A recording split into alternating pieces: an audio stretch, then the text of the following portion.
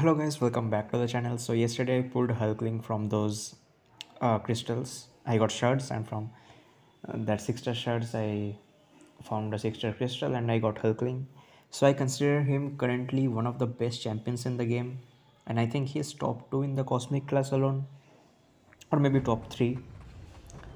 So i just wanted to test him you know how to build up his damage and all that. So i haven't yet read his kit and neither have I watched any guide specifically, but I have watched a lot of players play him, use him in battlegrounds, and I just know one thing: they reach special two, they build the shape-shifting charges. They hit the block to go unblockable and then throw their special attack, special two, so that they can get the furies. Now, if he is undoped, the fury duration is a little short, but if he is doped, those fury duration can become longer which is very helpful because those furies are very much potent. That's why i'm using the odin synergy.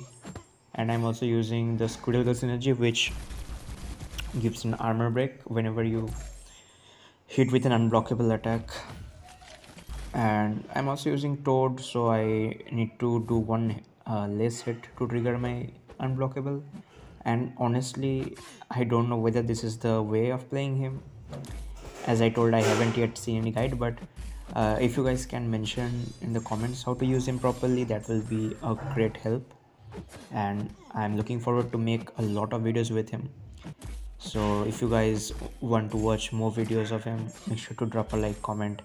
And if you're new to the channel hit the subscribe button share it with your friends. See you guys in the next one